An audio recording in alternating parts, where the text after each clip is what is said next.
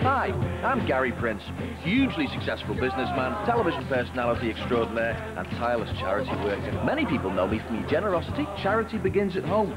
My home, others for me legendary physical fitness. Really let himself go, hasn't he? Yes, he has, love. Some for that certain je ne sais quoi. Hey, I'm as honest as the day is long. Whatever way you look at it, I'm a prince among men. Life is never dull with Gary Prince around, and he's back next Tuesday, 8.30 BBC One.